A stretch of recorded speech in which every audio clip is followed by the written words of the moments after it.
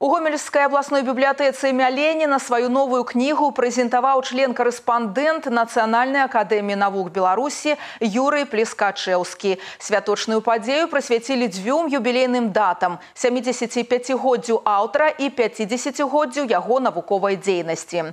Кніга «Утаймаванне цунамі» ў адрозненні ад 20 раней выдадзеных напісана ў навукова-папулярным стылі. У ёй змяшчаюцца адказы на пытанні, якія хвалявалі Юрыя Плескачэўскага на працягу яго паўвекавой прафесійнай дзейнасці.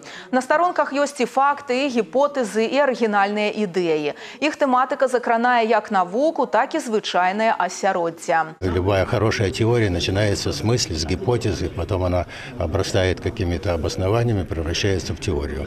Любая мысль, любая новая вещь проходит, как вам известно, три фазы. Сначала все говорят, что этого не может быть, потом начинают говорить, что может быть в этом что-то есть, а третья фаза – это кто же этого не знает. Я надеюсь, что мы придем э, к такому состоянию, когда все, что здесь написано, будет говорить, ну кто же этого не знает. Павіншаваць Юрыя Плескачэўскага з выданнем новай кнігі прыйшлі сябры. Сярод іх пісьменнікі, паэты, мастакі, музыканты і, канешне, калегі. На прэзентацыю завітаў старшыня прэзідыума Нацыянальнай акадэміі навук Беларусі Владзімир Гусакоў. Ён узнагародзіў Юрыя Плескачэўскага залатым медалём акадэміі навук.